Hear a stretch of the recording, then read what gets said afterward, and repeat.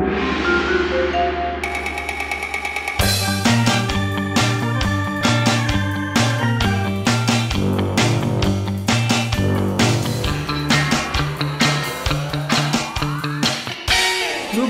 утро. Доброе Здравствуйте. Доброе утро. Здравствуйте. Будем говорить про кино. Сегодня мы опять втроем, господин Орлов, вот я, вот товарищ Бархатов, и присоседившийся к нам доктор Хефиц, который к нам повадился, потому что ему без нас скучно. Это Уже много точно. лет назад. Да. Да, да, да. Вот. И мы будем говорить про разное кино. Опять мы будем говорить каждый о своем, что лично меня радует, не знаю, как других. Начну, наверное, я как самый наглый. Как самый наглый.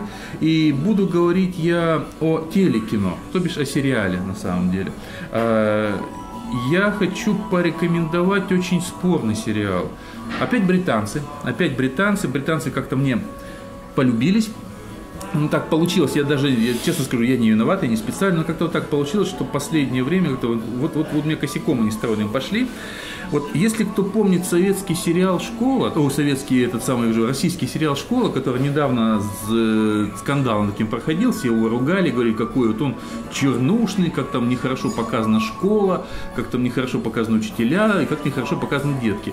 Я хочу порекомендовать нечто подобное британское, но там самое интересное, взяли не то, что взяли, а практически та же самая суть. Мы, мы обрезав все истории судеб каких-то домашних, мы видим только школу. То есть то, что происходит в школе. Что происходит вне школы, дома, мы не видим, мы не знаем.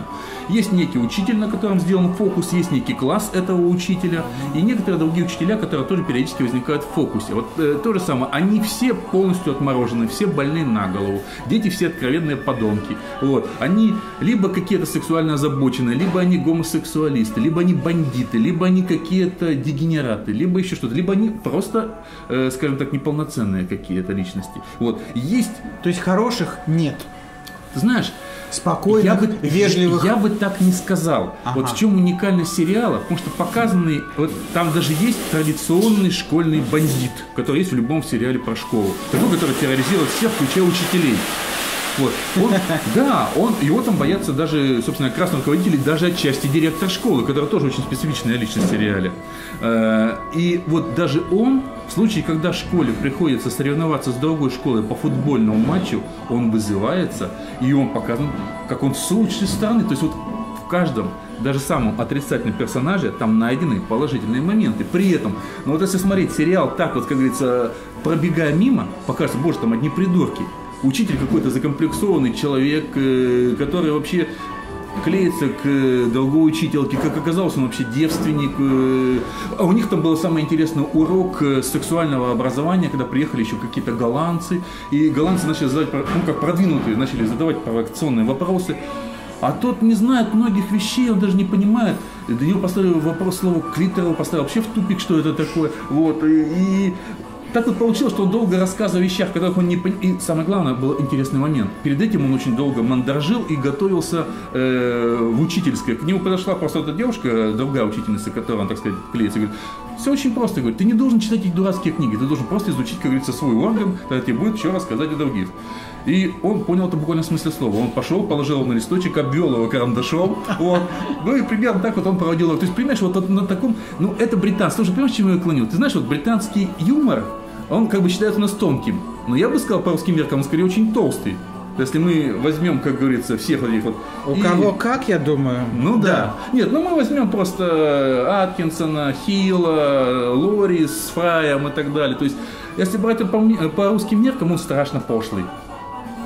Он Ну, пожалуй. очень тонкий с точки зрения намеков, но иной раз он такой толстый, что толще не придумать. Вот. И вот этот вот сериал, он как раз построен в лучших традициях. Название мы не будем говорить. Название мы скажем. Мы пока про него А поговорим. было бы интересно не сказать название. А, я думаю, надо. Вот. Э, То есть люди, скажем так, э, морально травмированные не смогут смотреть сериал, потому что там очень много вещей, будем сказать, более чем откровенных. То есть вот почему я и говорил про русский сериал «Школа», то есть это он, только это сделано, а, комедией, б, это сделано, по моему мнению, еще глубже, Жестче, да? Усугуб- усугублено вообще до максимума все. То есть как бы вот, э, учитель, э, вот действительно, он, он беспомощный, он девственный какой-то такой, вот он э, застенчивый. Если это негодяй какой-то вот школьный, то он полный негодяй, да. А директор вообще какой-то странный человек, который скорее сам еще в подростковом возрасте находится. Вот они все какие-то не от мира сего. И когда, самое интересное, когда вот я уже говорил, у них есть соревнования футбольные с другой школы, и приезжают что-то такое типа Кембриджа, такие подтянутые. И там вот это главное у них тоже такое вот командует, она как, как генерал буквально вот такой, понимаешь, вот это противопоставление. Вот эти все, они все какие-то домашние. Вот с одной стороны все какие-то уроды, с другой стороны все какая-то одна семья. И приезжают вот эти армия, да? Вот. А теперь, думаю, я могу озвучить. Сериал вообще уникальный заключается в следующем. У него название э, Bad Education, то есть э, дурное воспитание. То есть, и я думаю, чтобы не впадать э, ни в какие перекликания с э, Альмадоваром, да, вот, в российском э, он вышел, ну, прокат не назовешь, он не, не в прокате, он в пиратском прокате назовем тогда, то есть он есть уже у многих э, студий вот этих переводов доморощенных, и он вышел в переводе «Раздолбайская учеба», э, непутевая учеба. Почему вот непутевая учеба, вот этим названием он даже попал в кинопоиск. В кинопоиске вы найдете его как непутевую учебу сериал. Вот, ну и так далее. А То что есть, там с сезонами, сериями? он, это- он 12 года, сезон пока первый, 6 серий всего в этом сезоне. Э, В пиратском прокате существует, я хотел обратить внимание, единственная студия перевода, причем единственный перевод, который мне понравился. Я хочу акцентировать внимание, есть такая студия ОЗ. У них вышло всего пока в переводе две серии. Ну Вот, в отличие от многих других. Но они сделали, пожалуй, самый адекватный перевод, где очень хорошо переведена, переведена аналогия. Именно вот подобранные вот аналогии юмора, попытка как-то действительно То есть адап- они работали с идиомами. да, да, да. Поэтому, наверное, они, они и писали очень жестко, говорят, например, а чего так долго, почему так мало серий люди пишут? Они говорят, вы либо идите вот туда, где быстро, Да. но мы будем долго над этим сериалом Понятно, работать. И, да. понимаешь, я видел впервые в неофициальном, э, в неофициальной адаптации такую вещь, как хардсавы. То есть там очень много, э, где показаны какие-то наезды, ну, предположим, э, есть такая школьная доска, типа доска идиотов, там развязаны портреты и надпись какая-то появляется. Или кто-то берет журнал, и на журнале какая-то определенная надпись. Они все имеют значение. Надписи переведены хардсабами. Супер. Да, то есть ты когда смотришь, у тебя русская надпись на обложке. Когда нарисован член на стене, какая-то подпись есть, там, да, она на русском языке. Вот. Однако есть, ж. Да, вот я таким образом прорекламировал эту студию ОС, Вот- денег не дали, Вот сразу говорю. кому Ну, Тефит нужно А давать. жаль, Андрюша. да. Есть, есть дать. от других студий переводов, причем э, активнее всех перев- перевел почти все серии, 5 из 6, э, какого-то портала знакомств, я не буду озвучить, не потому что не хочу, а потому что не помню просто, там какой-то портал знакомств перевел э, 5 серий из 6. 6 серий существует только в субтитрованном переводе. То есть, э, кто знает английский язык или кто смотрит с сабами, э, с субтитрами, да, тот, в принципе, может посмотреть все 6 серий. Я от всей души его рекомендую, потому что я считаю, что сериал глубокий, ну, может показаться, что он как бы такой вот именно пошловатый, пустой и дурацкий, он не дурацкий. Он очень глубокий, очень интересный. Я считаю, его как раз смотреть надо. Точно так же, я в свое время рекомендовал смотреть сериал «Школа» российский. А да? школа это Германики, которая была? Да-да. Да, Германики, да. Вот. То есть это то же самое, только комедия и глубже, и британцы. Не, британцы это всегда хорошо. Да? На мой взгляд. Вот, собственно говоря, вот это 12 года, как я сказал, не знаю, что к этому еще добавить. Ну, наверное, пожалуй, К этому добавлю я. да. Я тут посмотрел очередной фильм Квентина Тарантино. Мгм. Ну, это режиссер, который нужно смотреть... э, Саша посмотрел Тарантину. Да, посмотрел Тарантину, эту самую Тарантину. Вот. И я в очередной раз восхитился, потому что это невыразимо прекрасно, потому что я обожаю художников, которые обладают таким чувством юмора. Я уж сейчас не говорю про ремесло, которым он владеет. Ну, нет слов, как он владеет ремеслом, да? Который работает в очень интересном жанре. Ну, все мы знаем этот жанр, да. Он работает уже как бы в постмодерне. Он работает а, играя смыслами, играя м, всем тем, что накопило кинематографическое человечество до него, и он использует эти штампы, гиперболизируя их, превращая их во что-то во что-то новое, что видно, ясно, понятно и чаще Ну, всего очень смешно и него очень пошло, стильно, да. Да, ну да, достаточно по- вспомнить Pulp Fiction, да. Вот, разговор ведь там полчаса разговора массажа ног, да, там, да, да, да. у него. Да, да, да. Убить Билла, да, совершенно прекрасно. Так вот, вышел новый фильм, называется он «Джанго освобожденный», уже все об этом знают. И его, конечно, нужно смотреть в кино, однозначно. Только в кино. Вообще кино нужно смотреть в кино. Ну да. Это совершенно- в кинотеатре, конечно, да. Это совершенно особая атмосфера. Вот, кстати, обрати внимание, что смотреть в кинотеатре в пустом зале одному – одна история. В заполненном зале другая история. История, я имею в виду восприятие фильма. То А я есть, люблю то, ради то, чего ты пришел. Смотреть дома какая-то вообще другая, совершенно другая история. Даже на домашнем кинотеатре высокого уровня. Это все разные вещи. То, что, то, что я сейчас немножко ухожу от предмета. Да, да. Не-не-не, Но, ну, это но очень мне кажется, это важно. Вот то, что ты целенаправленно идешь в кинозал, ну, покупаешь билет, тоже важно. Идешь в зал, садишься, расстегиваешь куртку. Это все ожидание того, что сейчас начнет гаснуть свет. Как в но ты не покупаешь попкорн с Кока-Колой? Ну, Я не покупаю. Слава тебе, Господи. Саша, еще знаешь, что бы к этому добавил? Вот для меня это важно. Вот лично я, когда иду в кино, я еще выключаю телефон.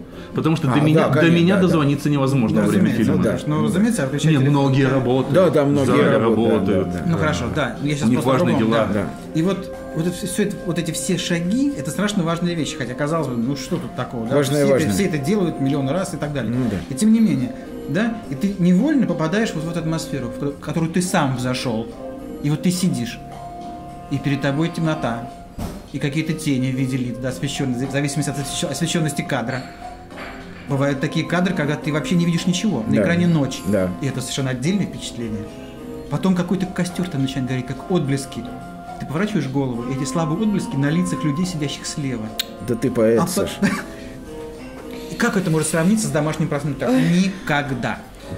Для меня домашний просмотр это скорее как профессиональный отсмотр чего-то. Ну, отсмотр, такого. да, слово. да, да, отсмотр. И еще мне нравится в кинотеатре потому, что в отличие от домашнего просмотра я не могу поставить на паузу. И поэтому я э, как бы таким образом даю себе отчет, что я Да. обязан быть свободен эти два часа или Да, сколько там идет да, фильм. да, да. Я- И это важно. Для меня, вот, как бы, вот, когда я смотрел «Хоббита» в декабре был, знаешь, как интересно, я смотрел его, я очень люблю, знаешь, смотреть не в новых кинотеатрах, а в средних, которые были созданы где-то в конце 90-х, да, и которые еще в Москве, сеть «Московское кино» или что-то такое, существует, там десяток кинотеатров у них сохранился. Вот, и они такие, не, не как сейчас новомодные, а у них еще старенькие креселки, да, и главное самое, они не порезали эти большие залы на маленькие. Мне очень нравится. Я смотрел в огромном зале, на огромном экране, было на улице довольно прохладно, я сидел в куртке, и я думал, что к концу «Хоббита» я просто превращусь в одного из персонажей, настолько я там как собака замерз, но я смотрел, я смотрел на, на «Хоббита», вот, и постоянно куда кутаясь, ку- и погружаясь, погружаясь, погружаясь в историю. Да, да, да.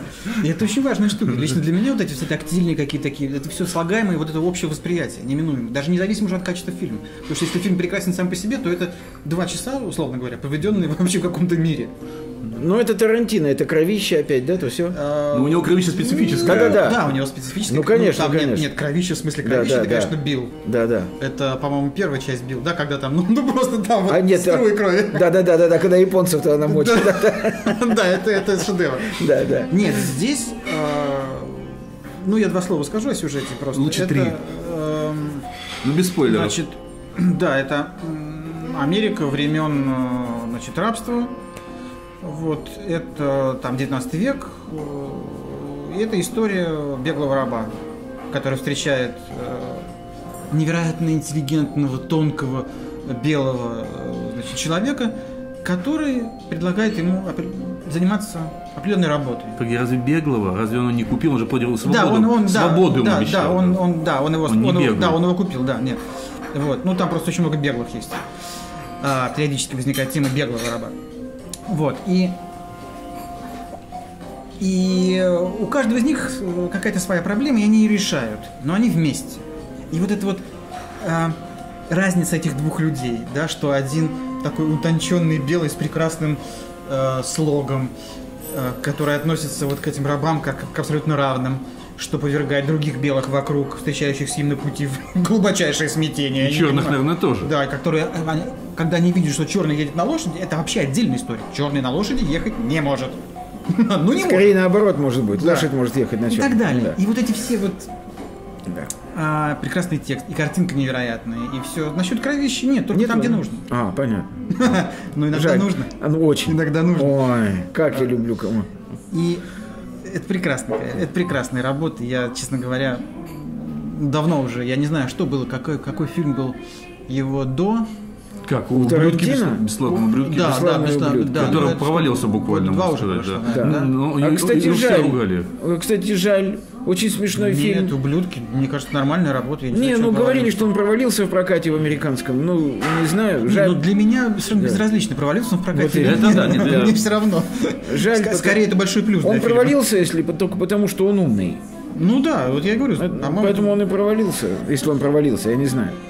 Вот, в общем, э, Не знаю, мне у Тарантино нравится все. Это я Джангу пока не видел. Я тоже очень люблю Тарантино. На Да. Тарантину надо сходить. На Тарантино, Тарантино надо хороша сходить. как никогда. Да, да. Юрий Борисович, Да. Прошу У меня вас. два предварительных замечания. У меня Пришло есть 17? прежде чем... А? Прежде чем... Не, ну при чем тут? Нет. А я, кстати, этот фильм... ваших детей от наших Я, кстати, этот фильм, да, я этот фильм показывал бы подросткам в первую очередь нашим. Ну, подросткам кстати. вообще всё надо Да, показывать. вот э, тот фильм, о котором я хочу сказать. Но два предварительных замечания у меня. Замечание первое. Я обожаю порнографию, э, но порнографию сюжетную, все-таки пока еще сюжет. сюжетную. В порнографию где ты по- включаешь А? тетеньки с дяденьками. Не, Потому что нет, да. порнография нет, нет. очень относительно. Смотри, у меня нет, в этом смысле я тебе скажу. Смотри, я допускаю, я могу с удовольствием посмотреть порнографию, где тетенька с тетенькой. Нет, ну это вообще красиво. Да, Это а вот дяденька с дяденькой ни за что. Мне это отвратительно. Особенно в свете Ты- последних. ты- да. Особенно в свете Ты последних. мерзкий Да. гомофоб. Почему мерзкий? Приятный гомофоб. Да, я Маленький нормальный гомофоб. Юрий. Борисович очень приятный Да, гомофоб. напрасно ты, кстати говоря. Зачем ты так о нем? Не Да, надо. потому что, да, потому что евреи лишь бы обидеть. Да, симпатяшка. вот. Еврей каждый может обидеть. Еврея каждый может. Художник. А уж кто хочет. А когда еврей художник, А когда еврея обижает художник, о, это искусство. Не будем Да отвлекаться. не будем отвлекаться. Так вот, э, первое, я обожаю порнографию, но не просто вот это мясо, так сказать, сарайное, а значит, сюжетную такую, с мыслью, то, что называется эротический триллер, вот я люблю. Тинта Брасса. А? Тинта Брасса. Ну, Тинта Брасса Ну, пусть. там не совсем триллер. Да. Ну, Или сюжет, вот ну, для него да. будет триллером, когда Да, он увидит да. все. Это первое. Второе. Чтобы вы поняли, как я вышел на этот фильм. Второе. Помимо обожания порнографии, я в течение полугода уже крайне встревожен новостями, поступающими из Соединенных Штатов Америки. Ужас какой-то. Крайне. Не молчи, Юр. Не молчу, не молчу. Я Выбери из никогда не был в. Соединенных Штатах Америки, никогда. Видимо, поэтому я эту страну обожаю. Крайне уважаю правительство и народ США. Считаю, что эта страна идет впереди всего человечества по пути познания демократии а- а- и цивилизации. Стой, они, они- они точно тебе А? зарплату не платят? Клянусь тебе. Да? Мне очень жаль. Я очень хочу, чтобы они наконец Чтобы начали Газдеп это делать. Да. Но почему-то Газдеп на меня, и ни ЦРУ, ни Газдеп почему-то на меня не обращают никакого внимания. Юра, я думаю, что деньги не доходят, их пилят на почту. А Я в этом убежден. Нет, нет, просто- Причем я даже знаю на какой.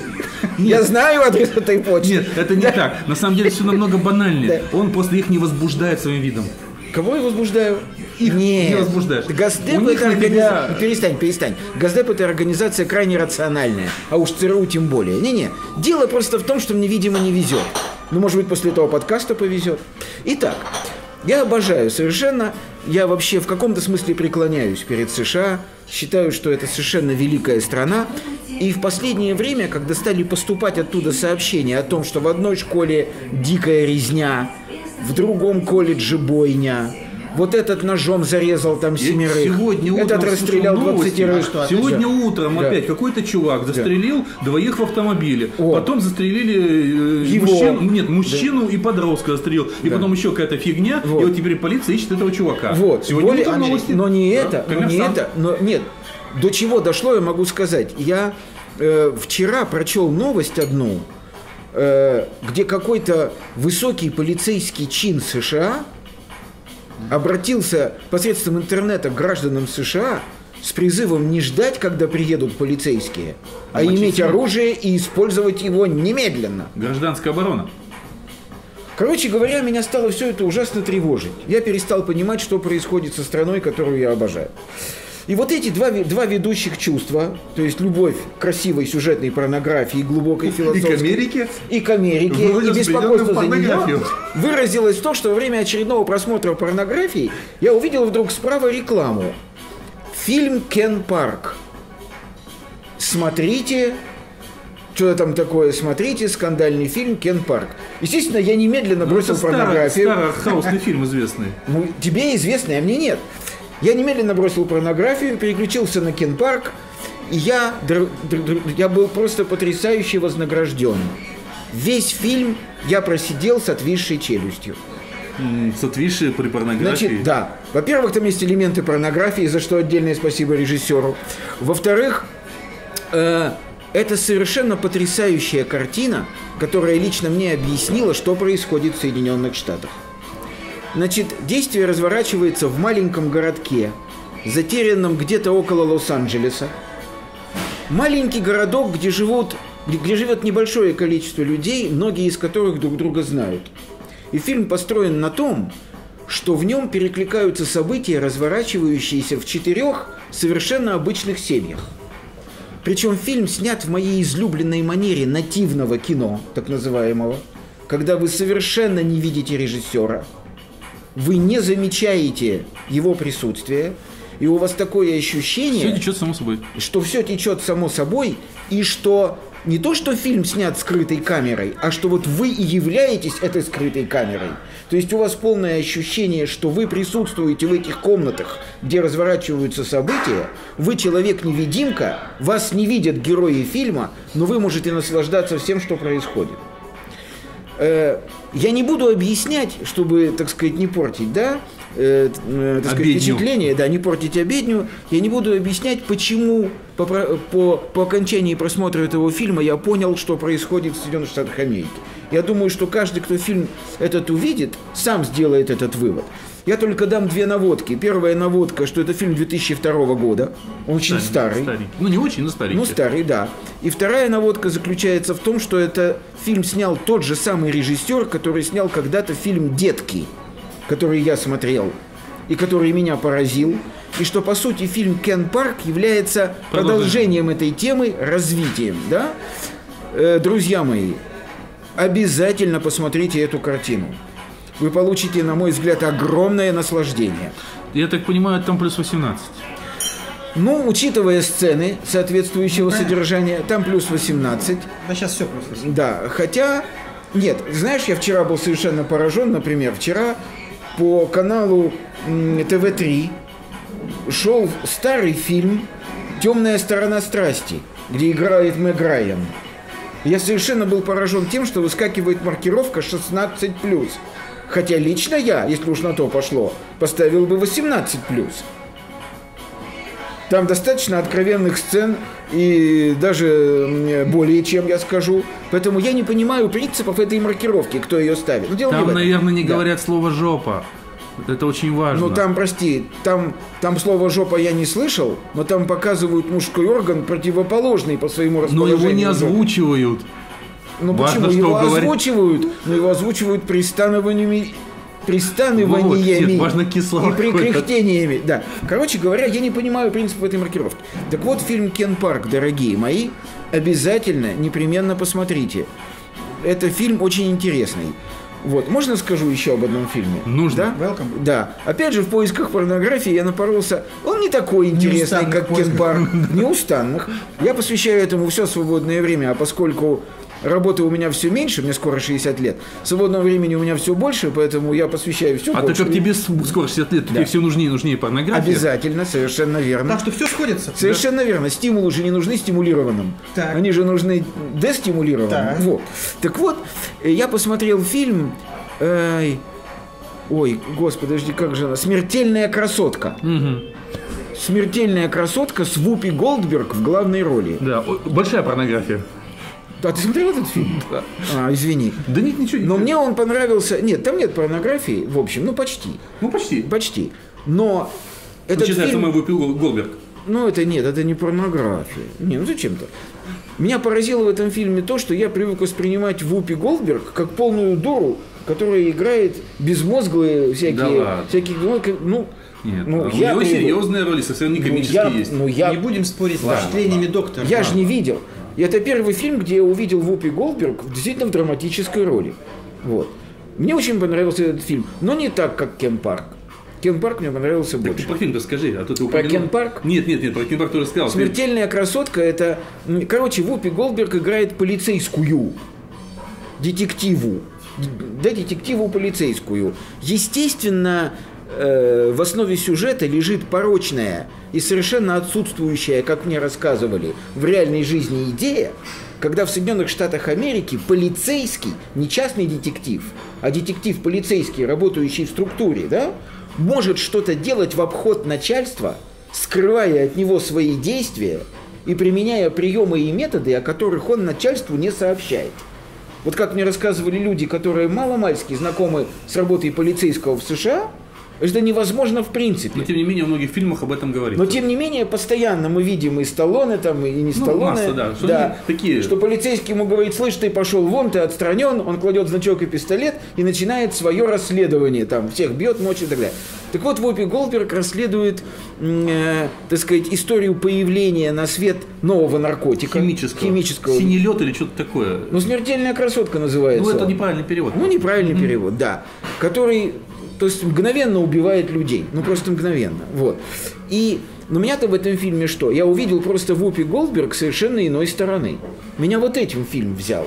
Вот Андрюша говорит, что Вупи Голдберг, оказывается, известная драматическая знаешь, актриса. самое интересное в этом Да. фильме, как она в этом фильме красива, она как улыбается, там, как у нее глаза горят. Ну, она красива, хотя, на мой взгляд, вот на мой взгляд, совершенно спокойно можно было не наряжать ее в идиотские очки и в прочие невероятные аксессуарные наряды. Это, Но это, послед- видимо, уже... это последствия Да.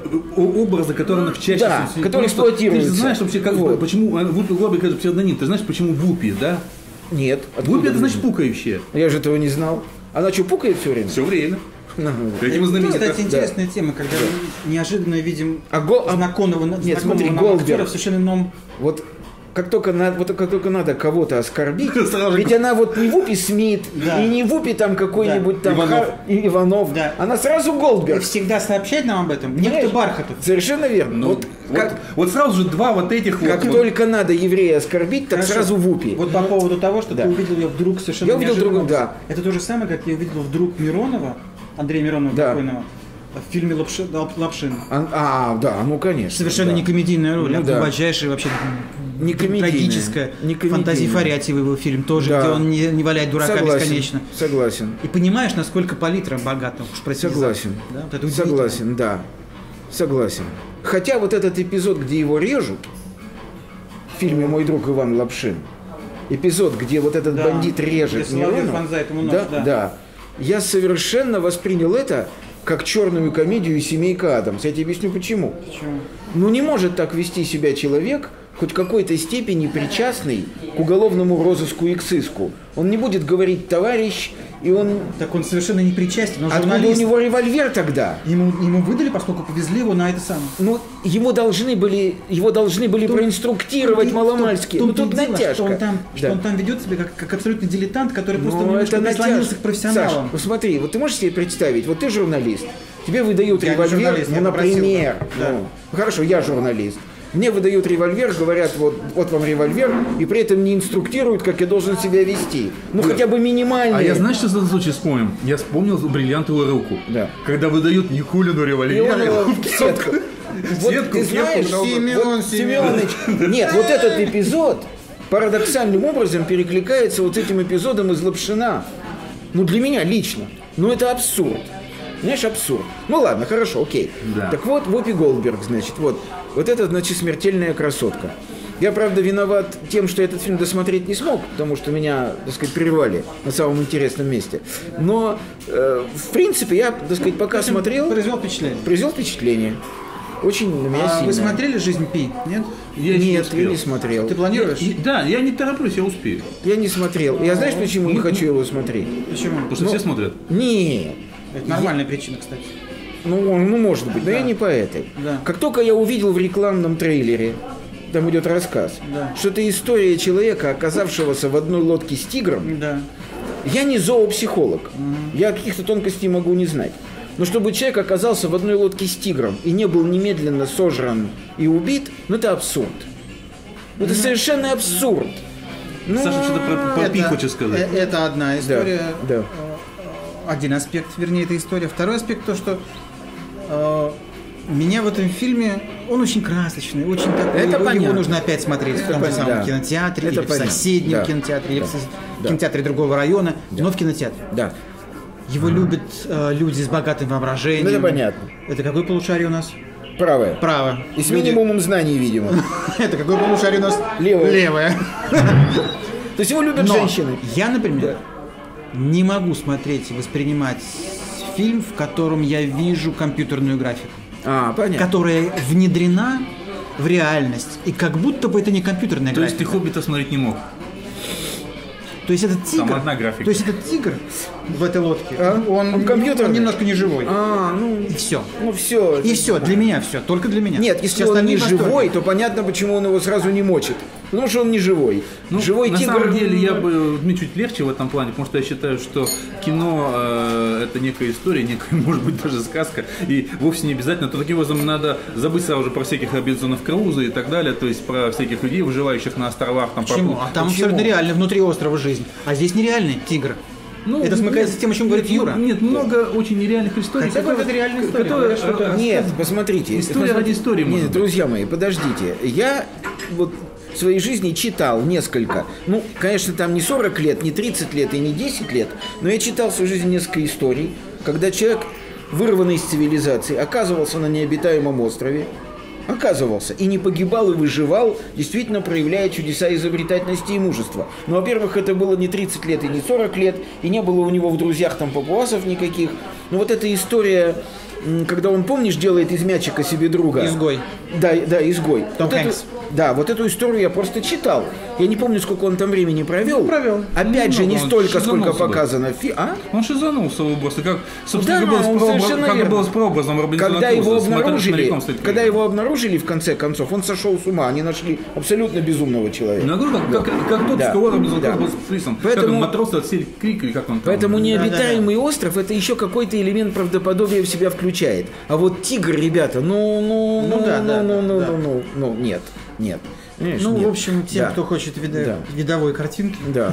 Если картинка может быть не Ну, видовая. да. Бывает не видовая картинка. да, Да, welcome. да. Вот и на видовой картинке, собственно говоря, на сегодня Ну, хватит. Будьте здоровы. Всем пока.